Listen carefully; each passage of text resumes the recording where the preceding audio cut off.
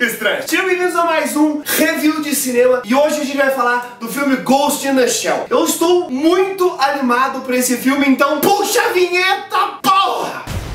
I'm going in.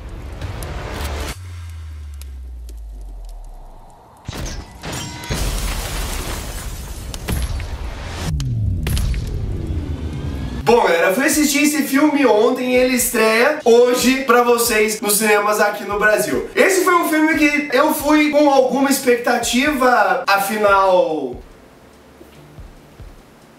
E cara, quando eu cheguei no cinema eu tava um pouco preocupado, por mais que, tipo assim, a, a, gente sabe que às vezes eles tentam enganar quem tá indo fazer crítica no cinema. Porque às vezes você chega no cinema, daí tipo assim, é aquele cinema enorme. Eu fui assistir no IMAX. Daí 3D. E tipo, cadeiras confortáveis. Daí eles já estão tentando falar pra você assim, ô, oh, pega leve nas críticas ali e tal. Mas não foi isso que aconteceu. A gente foi no cinema que era pica pra caralho e eu saí do cinema feliz. A única coisa que me deixou um pouco preocupado foi que eu não podia falar desse filme até hoje. E assinar um papel dizendo que eu não ia falar do filme, só no dia 3. Então está aqui a minha review. Calma, deixa eu, deixa eu organizar meu pensamento para que vocês entendam todas as coisas que eu quero falar a respeito desse filme. Bom, uma coisa que me preocupou um pouco no começo, e eu geralmente não sou tão detalhista assim, mas hoje dá pra ser. O diretor desse filme é o Rupert Sanders, cara, que é um cara que fez Snow White and the Huntsman. É, acho que em português é a Branca de Neve e o Caçador, alguma parada assim. Isso já me deixou um pouco preocupado, porque não era... Eu não consigo imaginar ele fazendo a pegada do Ghost in the Shell que eu queria ver. Mas eu me enganei completamente porque, cara, a, a pegada do filme é muito boa. E teve várias coisas enquanto eu tava assistindo o filme que me assustaram muito. Como, por exemplo, várias cenas, cara, do anime, do mangá, estão sim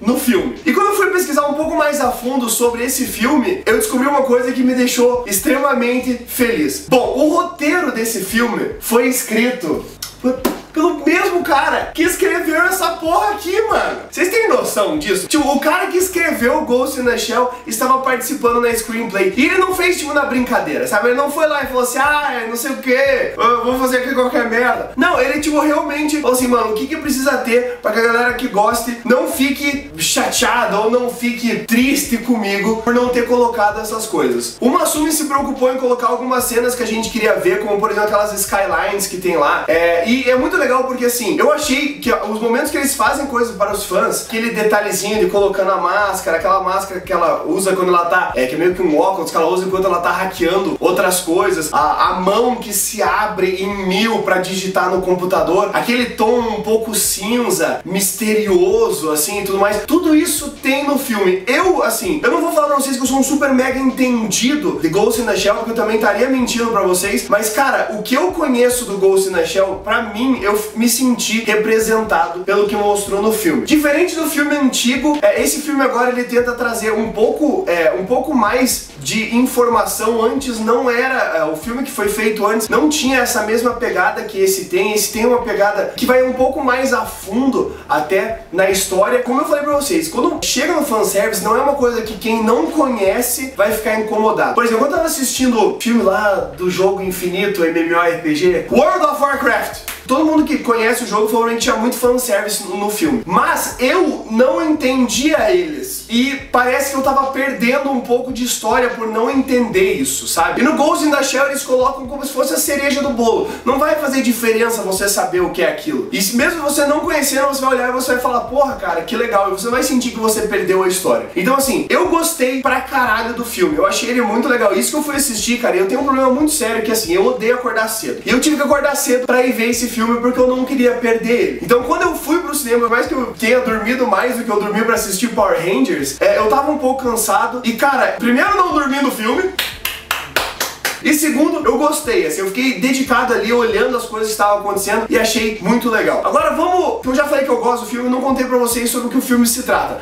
Bom, filme é Ghost in Shell, acho que em português é Vigilantes do Amanhã, alguma bosta do gênero, e é basicamente quando a humanidade já meio que tá transando com máquina. Aquele que ela meio que curte hentai, assim, ele tá esperando isso acontecer. Todo mundo já tá tipo, máquinas, uhul, máquinas, yay, vamos todos ser máquinas. Body enhancement já é algo que tem pra caralho, a gente não tá falando só de silicone, a gente tá falando de prótese mesmo, de braço, de ombro, de rola, quem sabe, né?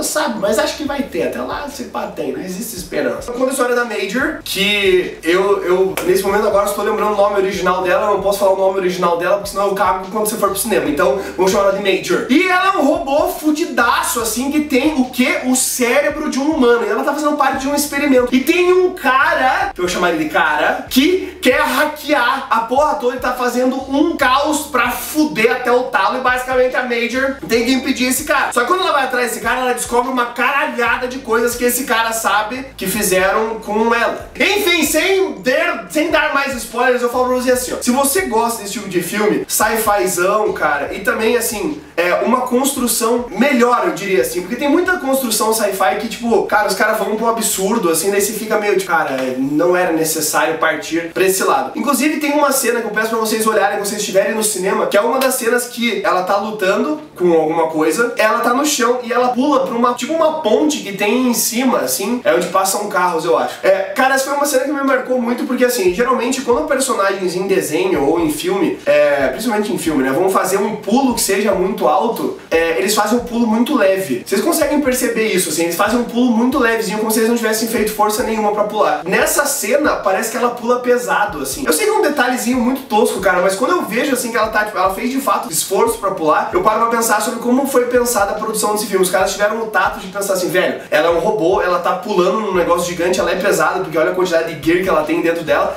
e ela, tipo, pum, faz tipo um mega esforço pra pular e chegar na ponte. Então, cara, o filme é legal, vale a pena ser Eu assisti ele no IMAX 3D, que é tipo uma tela gigante assim, 3D. E cara, eu não vou falar pra você que o 3D chega a fazer diferença pra você. É, acho que não é, não é isso que vai, vai dar alguma diferença pro filme. Vale a pena vocês irem assistir ele no cinema, porque eu acho que toda aquela, o som, assim, a forma como acontece as coisas é muito legal. Acho que a única crítica que eu vou fazer negativa pro filme aqui é que não toca a música do trailer, cara. Não toca aquela música quando ela tá, tipo, lutando assim na água. Words like violence.